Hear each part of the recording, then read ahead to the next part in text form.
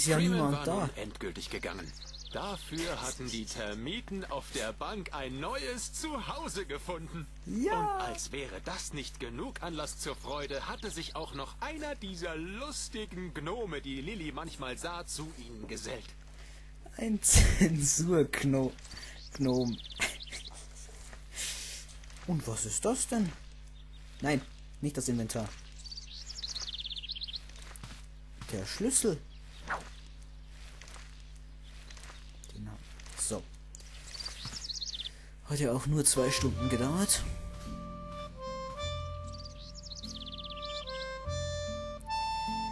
Ähm, Schlüssel mit Die Kellertür. Oberin hatte strengstens verboten, im Keller zu spielen. Ja und?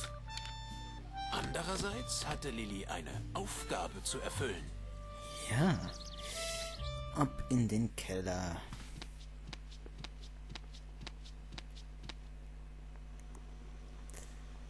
So, nehmen wir erstmal den ganzen Bestand mit hier. Presslufthammer. Brauchen wir bestimmt noch. Was haben wir noch hier? War hier nicht noch irgendwas? War doch noch was. Ah, hier. Lilly verstand sich blendend mit Doris, der Kantinenfrau. Darum wusste sie auch, dass sie mit Messern warf, wenn man die Vorräte durcheinander brachte. Naja, warst schon mal beim Zirkus, ne? Eine Schaufel. Schaufel. Genau so eine konnte Lilly jetzt gut gebrauchen. Ofen. Der Ofen war schwarz und leer, wie der Spiegel, von dem Lilly immer träumte. Okay. Da gibt's nichts mehr. Also müssen wir jetzt Edna helfen.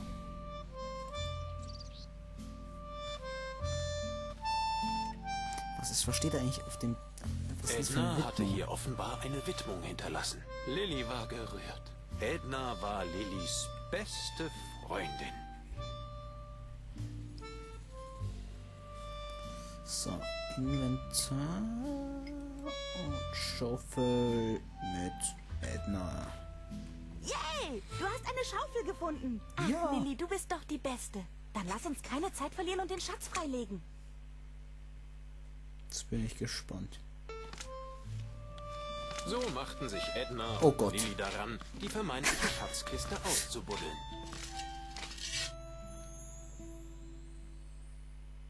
Das ist mal eine Schatzkiste. So wie die aussieht, gehört die bestimmt Oje. irgendwelchen Weltraumpiraten. Äh, Na und?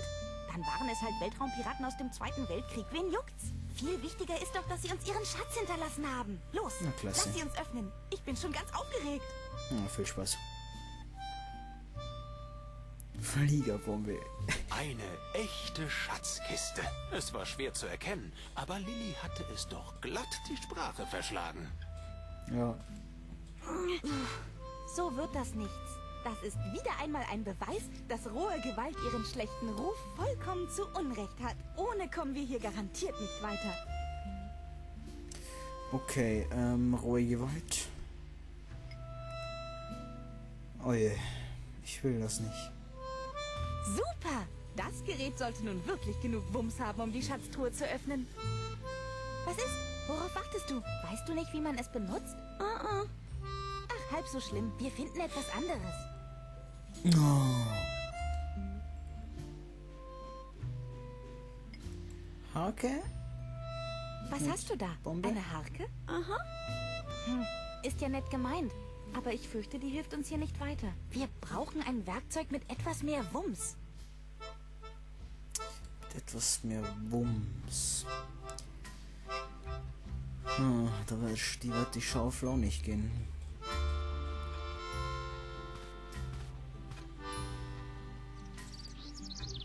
Jetzt kommen wir aber doch sicher in das Gebäude. Das Gebäude. Hm. Hier gibt es aber sonst nichts Neues, oder? Da gibt's bloß die Termiten. Ah, okay. Lilly durfte nicht ins Kloster, bevor die Gartenarbeit erledigt war. Hoffentlich fing es nicht wieder an zu hageln. Okay, da kommen wir trotzdem nicht rein. Also müssten wir irgendwas im Keller finden.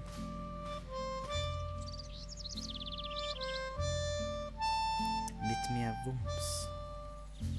Und an der Pumpe geht jetzt auch nichts mehr. Mal in den Keller. Vielleicht gibt es da drin ja noch irgendwas, was ich übersehen habe. Ja, ich habe hier sehr viel übersehen.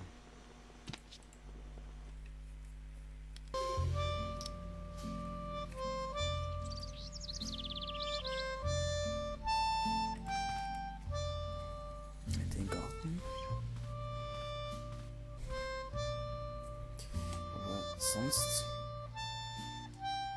Eine echte Sch Ach ja. So wird das nichts. Das ist wie ohne Kombi. Ja, ja, ja.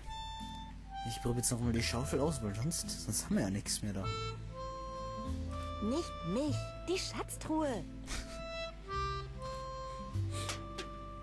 Nee, es geht echt mit der Du Schaufel. hast es geschafft.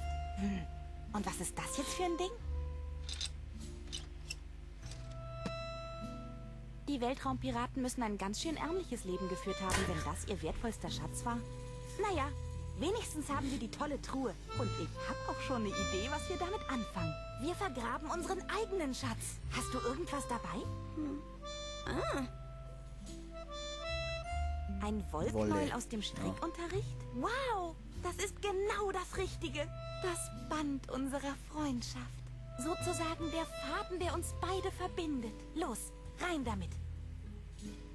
So, jetzt müssen wir die Kiste nur wieder vergraben und... Lili! Wo ist denn dieses Gör schon wieder? Lili! Das ist die? Oberin. Was will sie denn nun schon wieder? Wir sollten besser nachgucken, bevor sie noch explodiert. Da muss man vorsichtig sein, weißt du?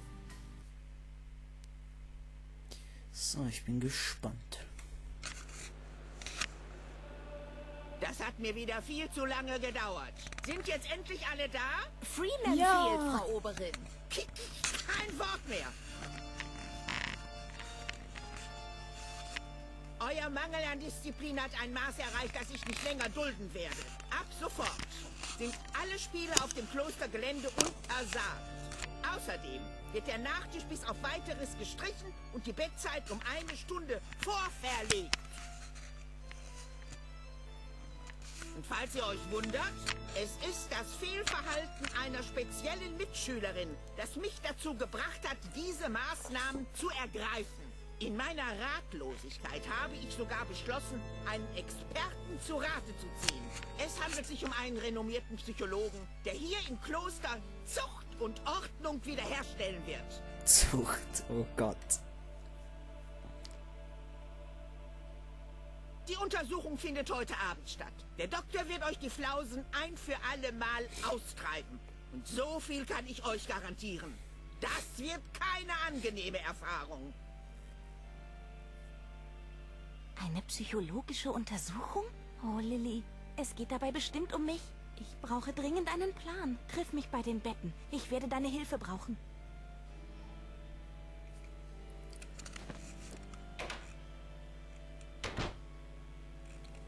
Ihr habt den Rest des Tages frei, um über eure Fehler nachzudenken. Wehe euch, wenn mir zu Ohren kommt, dass ihr neuen Unsinn anrichtet.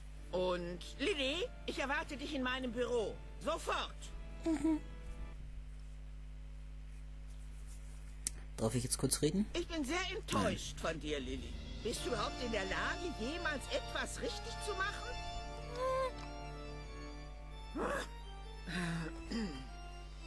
Kein Wort mehr.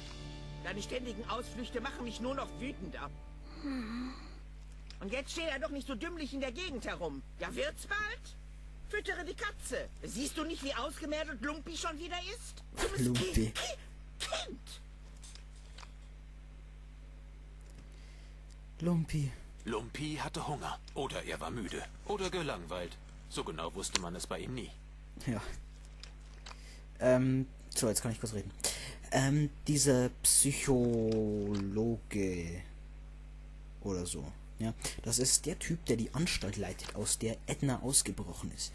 Und darum hat sie jetzt Angst, dass er sie findet. Ne, nur so als kleine Zwischeninformation.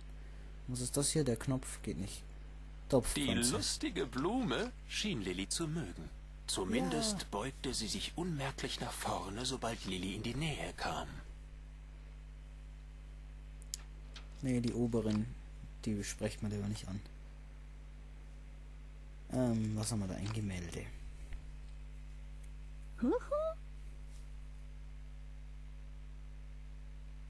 Ist auch gar nicht auffällig, dass da irgendwie zwei Augen sind, durch die man durchschauen Hier kann. fehlte entweder ein Bild oder es gab einen Haken zu viel. Ich glaube, wir müssen die oberen ansprechen. Trödel nicht rum. Fütter die Katze. Ja. Was ist das? Ach, ah, Katzenfutter.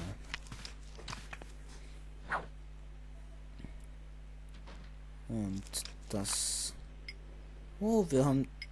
Wir haben den Presslufthammer noch in der Arschtasche. Wobei man sich fragt, wo die bei Lilly ist. Da, Lumpi. Futternapf.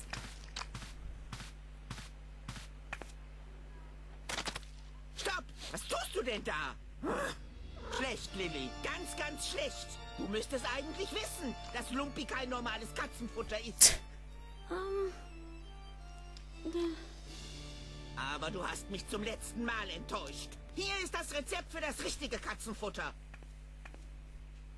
Bring es zu Doris, der Kantinenfrau. Dort stehen genaue Anweisungen, wie Lumpis Essen zubereitet werden muss. Außerdem findet Doris darauf meine Bestellung für heute Mittag. Hast du das verstanden? aha. Und jetzt raus mit dir. Ich muss die Ankunft von Dr. Marcel vorbereiten. Ah, Dr. Seine Marcel, neue Methode zur Charakterkorrektur wird mir in Zukunft hoffentlich solchen Ärger ersparen.